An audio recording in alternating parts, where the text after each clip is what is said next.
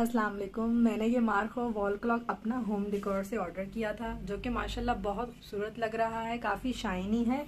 और अक्रेलिक पे बना हुआ है थैंक यू अपना होम डिकोर इस खूबसूरत वॉल क्लॉक के लिए